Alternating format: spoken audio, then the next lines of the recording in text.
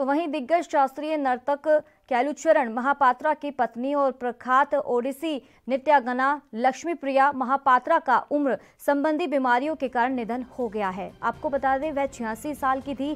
सूत्रों के मुताबिक बताया जा रहा है कि महापात्रा का शनिवार को उनके आवास पर रात ग्यारह बजकर बीस मिनट पर निधन हो गया है और उनके परिवार में बेटा रतिकांत महापात्र और बहू सुजाता महापात्र है। दोनों ही ओडिसी कलाकार है और मुख्यमंत्री नवीन पटनायक ने उनके निधन पर शोक जताया। है। ओडिसी नृत्य के प्रचार में उनके योगदान को याद करते हुए उन्हें श्रद्धांजलि अर्पित की है।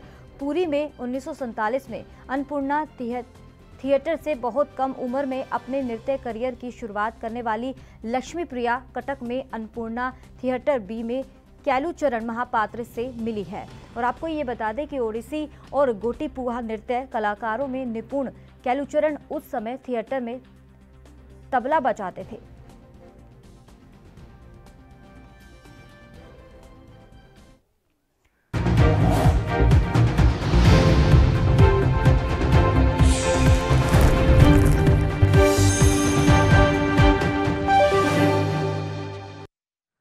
नमस्कार, इस खास बुलेटिन में आपका स्वागत है और मैं हूँ आपके साथ करिश्मा भारद्वाज और आप देख रहे हैं एएनबी न्यूज़ बुलेटिन के आगाज़ से पहले इस वक्त की बड़ी और अहम खबर की तरफ़ रुक कर लेते हैं।